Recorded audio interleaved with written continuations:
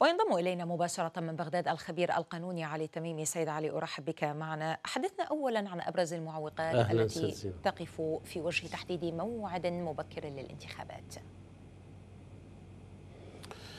نعم بعد التحية لك ستنا والسادة المشاهدين طبعا برأيي هناك عدد من النقاط التي تحتاج إلى الحل لتكون ارتكازات لإجراء الانتخابات آه، المبكرة. طبعا إحنا ما عندنا بالدستور العراقي ستنا مصطلح يسمى انتخابات مبكرة وإنما يوجد مصطلح اسمه الانتخابات العامة.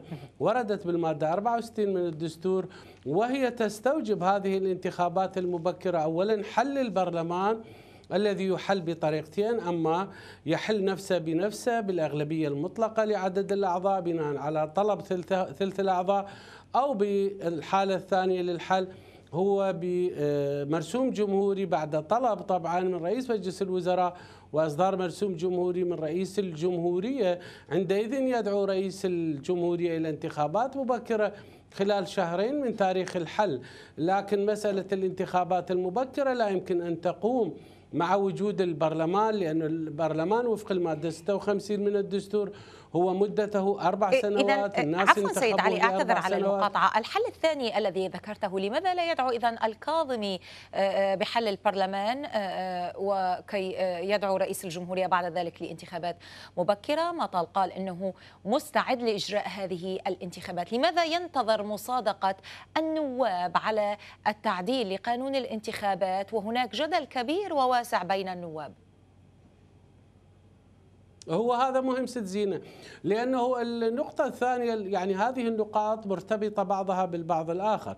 يعني هو يحتاج إلى قانون انتخابات تشريعية جاهز وقانون الانتخابات نعلم جميعا إنه البرلمان صوت عليه فبقيت مسألة المادة 18 المتعلقة بعدد الدوائر ال 240 دائرة. هل تكون المحافظة دائرة واحدة أو دوائر متعددة لم يشرع البرلمان هذه النقطة فبقى قانون الانتخابات معلقا. هذا أولا. والنقطة يعني التي تضاف إلى ذلك والخطرة جدا هي المحكمة الاتحادية ستنا غير مكتملة النصاب.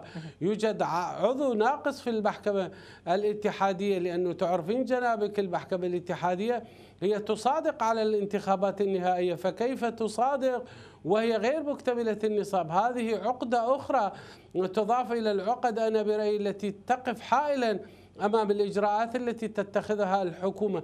لهذا يحتاج البرلمان اولا أن يصادق على قانون الانتخابات وثانيا أن يشرع قانون المحكمة الاتحادية أو حتى يعود إلى المادة ثلاثة من قانون المحكمة الاتحادية حتى يمكن استكمال العضو الذي تكتمل به النصاب في هيئة المحكمة الاتحادية التي ضروري جدا أن تصادق على الانتخابات وبغير ذلك. طيب ولكن سيد علي هناك إشكالية أخرى. هذه آه، آه، الانتخابات. كانت هناك انتقادات كثيرة دائما لقانون الأحزاب وأوجه التمويل. آه، اليوم كانت هناك مطالبات بضبط السلاح والمال وجعله بيد الدولة. هل تعتقد صح. أن الكاظمي لديه القدرة على فعل ذلك؟ يعني مسألة السلاح الموجود آه، في خارج أو خارج سيطرة الحكومة العراقية هو يعني مشكلة قديمة جديدة. بعض المحافظات تحصل بها معارك أشبه بالمعارك بين الدول حتى أسلحة ثقيلة.